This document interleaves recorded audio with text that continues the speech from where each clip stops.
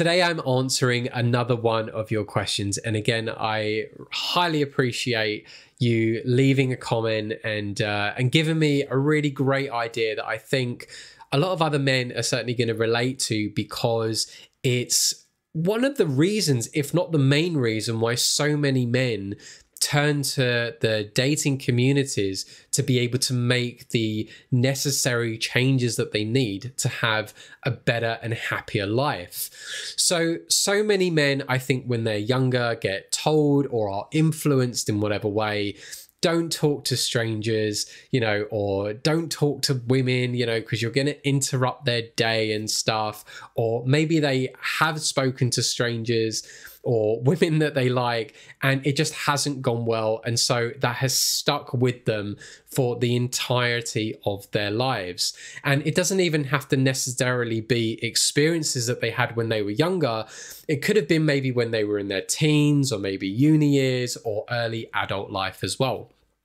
But I'll read you just the question that the um, uh, the guy had left me, and this is um, uh, this was a comment from a guy called Gar three eight three zero. So if anything, thank you so much, my friend, for leaving this comment because yeah, it's uh, an issue that I think again so many men do have. And he put, it would be good if you could talk about why it's so difficult for men to relate to women, and apart from social conditioning. Because since I was little, they told me not to talk to a girl because it was not normal. I don't know why they educated this, but yes, this was, uh, this meant that my childhood was horrible.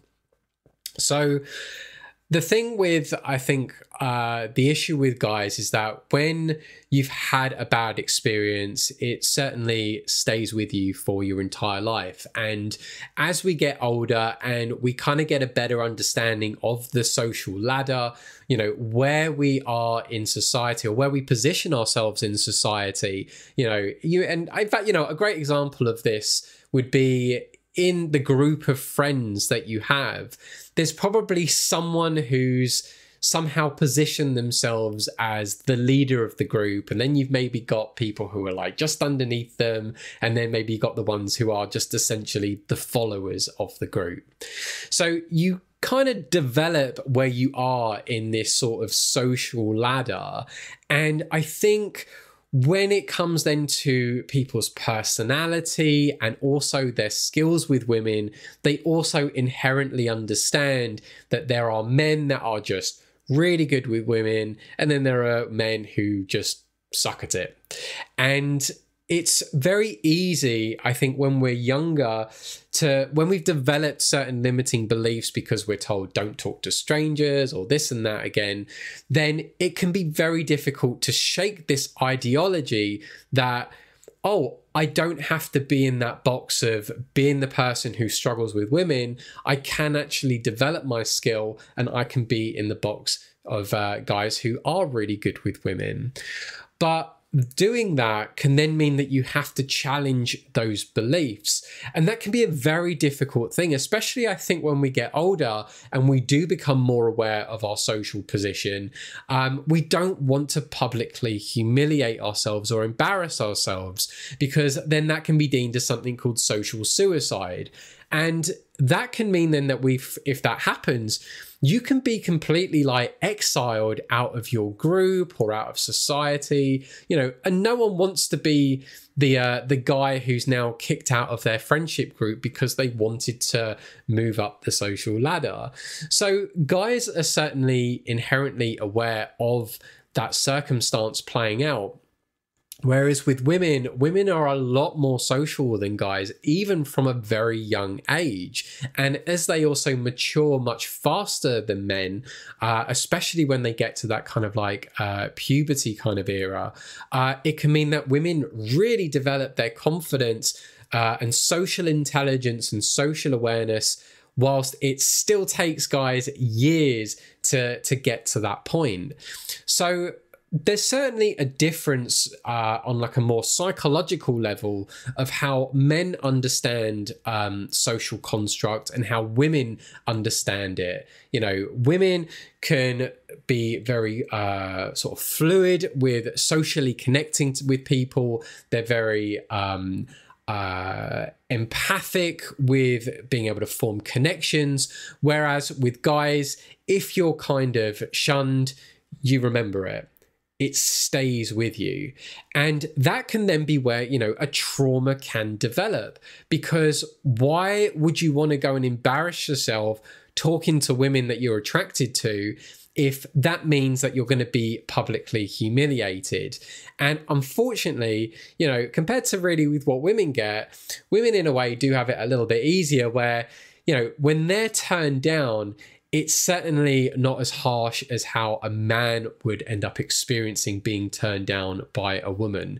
And a woman also has, or women also have uh, a better selection or opportunities than men when it comes to the dating scene. Whereas a man has to put in the hard work, he has to develop his confidence. And usually, when he gets to that confident level, there's like a perpetuating cycle that plays out where his confidence gets him more women. And because he's, get, because he's uh, dating and meeting more women, that also somehow gets him more women, which then feeds back into his confidence but so you have to kind of create this uh, kind of catalytic converter experience play out but that can be very difficult if you aren't overcoming the limiting beliefs that you've got.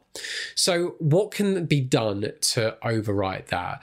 Well, for me, after all the years of my time, certainly in the dating industry, uh, I think, and this is also why I moved into doing the integral eye movement therapy and really trying to focus more on the therapy work with guys, is where my understanding came into play of if you can remove how you feel about those past traumas, then it can at least be removing that brick wall or whatever barrier maybe you've got preventing you from at least trying to do more positive things for yourself. So let's say you've had uh, a bad experience or a few bad experiences of approaching women. Uh, maybe you were at a house party or something and you saw a, a cute girl you went over, you wanted to sort of like chat her up, and she just did not want to have anything to do with you. And that was seen by all of your friends and peers, and you were like, shit, I am so embarrassed. Right, I'm never doing that again. I, I can't, you know, that you feel that humiliation and that embarrassment and that anxiety there. And maybe if that is an experience for you, and in fact, what I'd love for you to do, which could really make this more realistic, is I want you to have a think about a bad experience that has happened to you that if you think about it, it will cause you anxiety. You can feel it like like deep down. You can feel that anxiety sort of like being brought uh, uh, above level. And the thing is, is that if you that that's that's just a symptom, and that's just your body reacting to a memory in a way as it's acting as if you were there. But the reality is, is that happened in the past. That is not happening in the present. So your body, or in fact, even the brain, is kicking in that fight or flight response and saying to you, no, you shouldn't do this because this happened many years ago and it was a terrifying experience. And I want to protect you. I want you to be safe. But the thing as well is that the brain and the body can sometimes overreact because of just what it has learned because of previous experiences. So, with something like the integral eye movement therapy, and this is what I do like with it, is just to remove that emotion from that memory, from that experience that you had. So, if you have had some upbringing that has told you not to talk to strangers or not to uh, be sociable with people because something bad could happen to you, or maybe you did have some more tra- uh, traumatic event that's happened that really does make you scared to go and talk to people, then what it is is you have to face that memory that is affecting you, and you also have to change the emotion and how you feel about that memory. And when you do, imagine then if those sensations, that anxiety wasn't there when you think about a really stressful thing that could happen in the future. it, the experience changes completely. And in fact, it gives you an opportunity to step towards that issue and challenge your belief and be like, okay, well, my body isn't giving me that level of anxiety that I had before. Yes, I'm nervous because I can't predict what is going to happen in the future, but I would be open to at least trying that experience and seeing how it plays out. So, if you're someone who certainly does have what uh, what GAR 3830 has experienced here of being conditioned at a young age to not talk to strangers or not talk to people, then as an adult, you're obviously going to have social anxiety. And one of the best ways to do that is certainly by either going to a therapist or actively going out and practicing and challenging those beliefs. And if you can't do that, then 100%, I think something like integral eye movement therapy can at least just take away that particular issue or barrier and then allow you to test the change, allow you to test those beliefs and see what the uh, the truth is. Because the real truth is 100% you can talk to people. You can talk to strangers. People love meeting new people and connecting. That is how romances and relationships are formed. That's how new friendships are formed. Think about all the friends that you've got in your life at the moment. How did you meet them? You weren't friends the moment you were born into this world. You developed a friendship. And it can be difficult to remember how friendships start, but you once you've got something established it's there. So if you're struggling with this issue i highly recommend do reach out to me.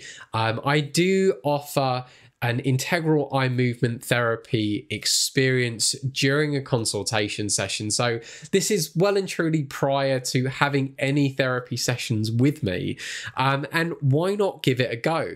And in fact, what I will also do at the end of this video, I'm going to put uh, a link to a video that uh, gives you the opportunity to experience um, maybe a, a more entertaining version of integral eye movement therapy. So do uh, consider it's not a full representation of what integral eye movement therapy is, but why not give that an experience? See what that's like.